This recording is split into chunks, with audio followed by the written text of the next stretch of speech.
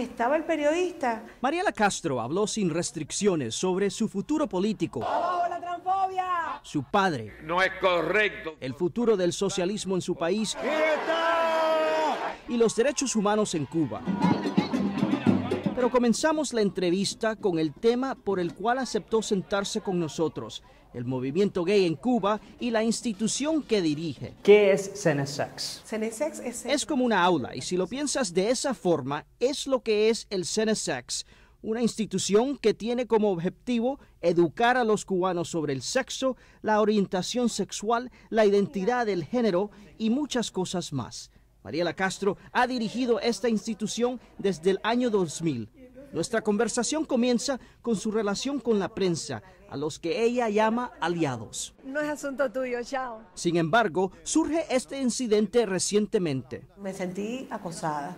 En este video vemos a Mariela perseguida por un periodista. Ella dice que las autoridades españolas le comunicaron que él no era un periodista oficial. Era un indeseable. Después de todo me dio lástima. Síguela contando, Homero.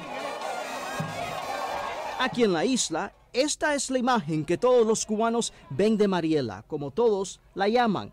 Es una figura, una estrella en lo que se refiere a los derechos del movimiento gay. Pero sí la defendemos. Y su personalidad tiende a crecer en esta época del año.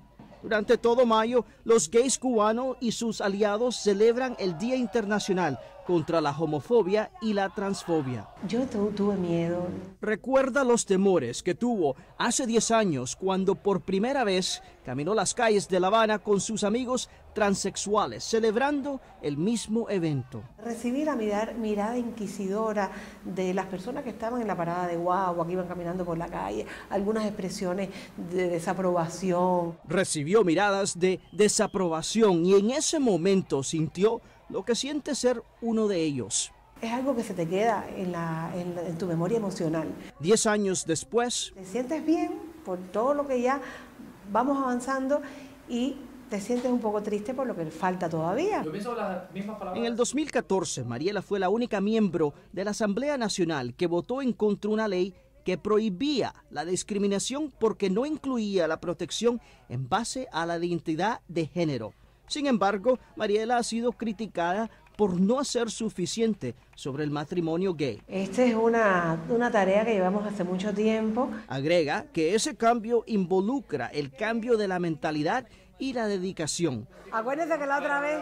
Una carga pesada para la hija de Raúl Castro, quien nos recuerda que el matrimonio gay solo sucedería en Cuba si el gobierno de su padre cambia la constitución. Hay una gente que dice en Miami que cómo va a haber derechos para los gays cuando no hay derechos humanos.